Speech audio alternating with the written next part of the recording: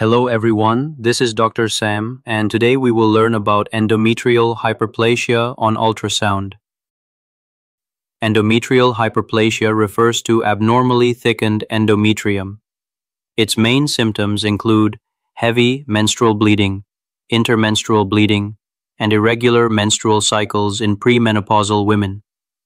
In older women, postmenopausal bleeding is often an indicator of endometrial hyperplasia. On ultrasound, the endometrial thickness can be measured. These are transvaginal images of the uterus in longitudinal plane. The fundus is the upper part of the uterus. This echogenic linear structure is the endometrium. It is surrounded by a hypoechoic layer called the junctional zone. This is the inner myometrium. And this thick layer is the myometrium the muscular layer of the uterus. The cervix is the lowermost part of the uterus. In premenopausal women of reproductive age, the thickness of the endometrium varies throughout the menstrual cycle in response to hormonal changes. During the menstrual phase, days 1 to 4, the endometrial lining is thinnest, measuring around 2 to 4 millimeters as the shedding occurs. In the early proliferative phase, days 5 to 9, it begins to regenerate and thickens to about 5 to 7 millimeters. By the late proliferative or pre-ovulatory phase, which is from day 10 to 14, estrogen stimulates further growth and the endometrium can reach up to 11 millimeters. During the secretory phase, which is from days 15 to 28, under the influence of progesterone, the endometrium becomes even thicker, ranging from 7 to 16 millimeters, and appears more echogenic due to increased glandular activity and stromal edema, preparing for possible implantation.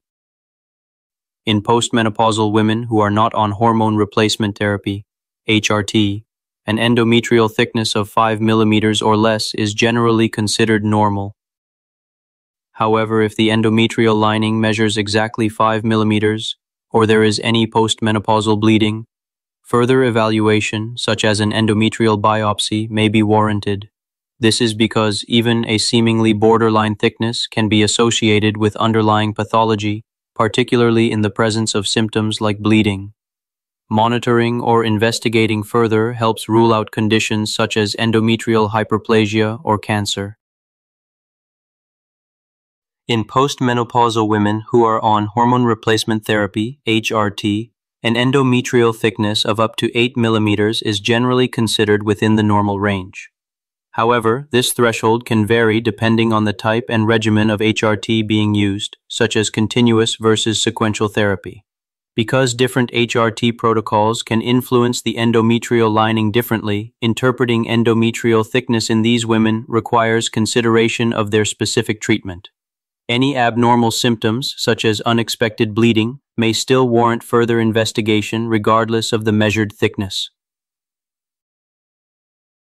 We will look at some cases of endometrial hyperplasia seen on ultrasound and compare its ultrasound appearance with a normal endometrial appearance.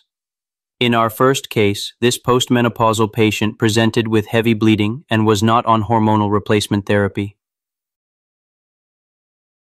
In postmenopausal women, a thickness over 5 millimeters, especially if accompanied by symptoms like bleeding, warrants further evaluation.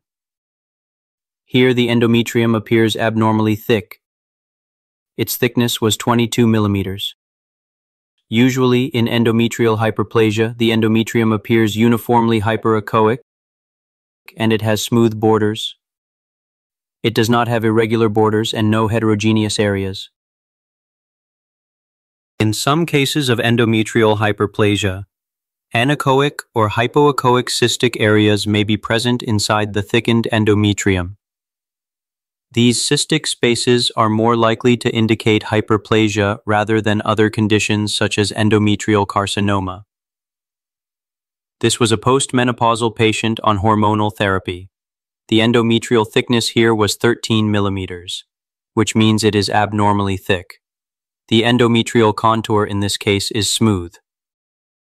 So it is more likely an endometrial hyperplasia. but if there are irregular contours, it raises suspicion for atypical hyperplasia or endometrial carcinoma, so biopsy is recommended. This image also shows a smooth contour of the endometrium. This increases the chance that it is endometrial hyperplasia and not a malignancy. If in premenopausal patients the endometrial thickness is 16 millimeters, for example, and the patient is unsure of her period cycle, a follow-up scan a few days to a week later is advised because during the secretory phase, which is from day 15 to 28 of the cycle, the endometrial thickness is physiologically 16 millimeters or even greater. So when a follow-up scan is done a few days later, the endometrial thickness will be reduced due to the phase of the cycle. And if the endometrial thickness is not reduced, it may be due to endometrial hyperplasia. On color Doppler evaluation of endometrial hyperplasia. The thickened endometrium will either show no internal vascularity or a mildly increased internal vascularity. In this case, the endometrial thickness was 29 millimeters. The thickened endometrium in this case is having a heterogeneous echotexture. It is not uniformly hyperechoic as seen in previous cases. Also, it has an irregular contour, an irregular shape. These two features are more concerning for atypical hyperplasia or carcinoma. Biopsy is advised in such cases. Thank you so much for watching. Stay tuned for more imaging videos.